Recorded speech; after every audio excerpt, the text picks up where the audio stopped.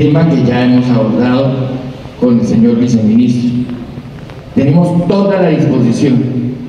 Envié un oficio que yo mismo me puse en la tarea de elaborar,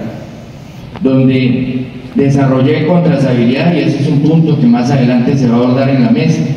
en donde estamos proponiendo que la gobernación no solo coloca el predio, sino que también coloca los recursos para hacer los estudios y diseños de ese campus universitario, pero también en un balance y haciendo un análisis de cuánto podría costarnos el valor del metro cuadrado de esa infraestructura que soñamos que haga parte de nuestro campus universitario,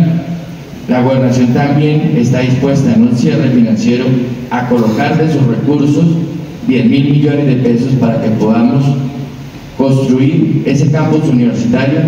que podría convertirse en una mejor alternativa a esa lamentable situación que vivimos en la dependencia que hoy tenemos de universidades tan prestigiosas como la Universidad Nacional de Colombia, pero que no tienen ningún interés, por lo menos desde sus directivas en la actualidad, de cumplir con ese deber constitucional, porque para eso es elegido un rector y para eso son elegidos estos directivos y estos docentes. Igualmente nos sucede con la SAL. Entonces, doctor Álvaro, aprovechamos para que pueda usted ser